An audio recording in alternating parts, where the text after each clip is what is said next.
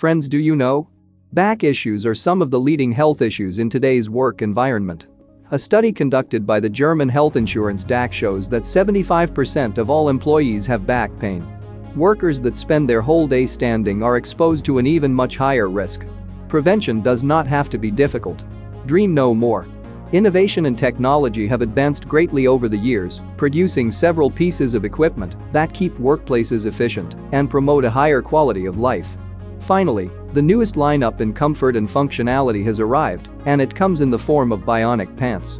A Swiss company by the name of Noonee jumped at the opportunity to make a name for themselves in this new bionics market, and they had one idea in mind, making it easier for people to sit without the need for a chair.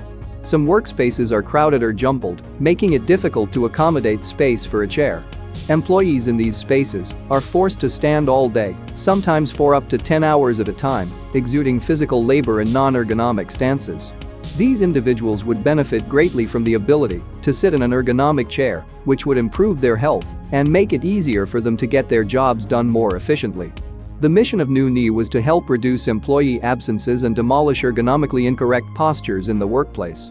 By developing the wearable chair, they have made it possible for workers to keep their bodies in shape and sit whenever they need to. The chairless chair allows you to effortlessly switch between an active sitting, standing, and walking position. The chairless chair reduces the physical stress of employees, promotes a healthy work posture and ensures that performance is maintained. Less stress and therefore fewer sick days by integrating the chairless chair into the work process. Friends, if you like this information, share it with others. Like and subscribe to our channel to learn similar interesting information.